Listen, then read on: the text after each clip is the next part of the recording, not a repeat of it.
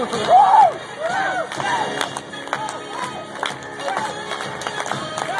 gotta record this instead. Fuck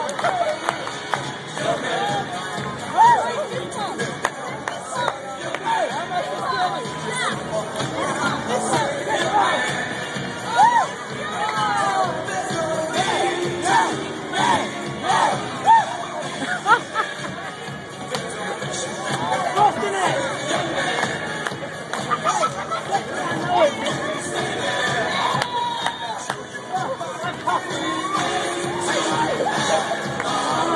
Right.